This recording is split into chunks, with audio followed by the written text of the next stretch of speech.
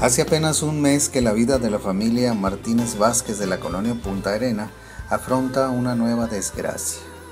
Juanito, quien fue el pilar del hogar durante muchos años de esta familia, murió.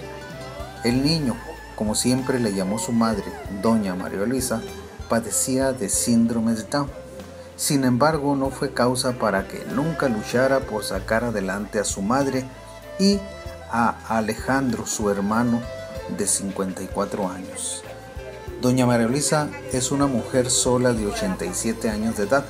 Le falta una pierna y corre el riesgo de perder la otra debido a una enfermedad crónica degenerativa. Por ello es que pasa sus horas postrada en una cama recordando a su hijo Juan y esperando la ayuda de la gente para poder comer algo.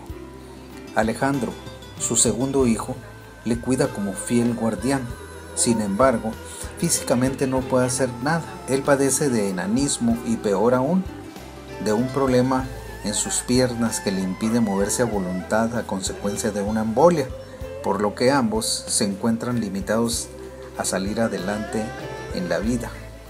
Hoy la familia Martínez Vázquez se encuentra bajo la protección del sistema DIF municipal de Guaymas. La señora Ana Sofía Rubio de Clausen, presidenta del organismo, brindó la mano a doña María Luisa y a su hijo Alejandro sin dudarlo. Personal de trabajo social, voluntariado de DIF, especialistas en psicoterapias y fisioterapias de la Unidad Básica de Rehabilitación atendieron a Alejandro y a su madre María Luisa.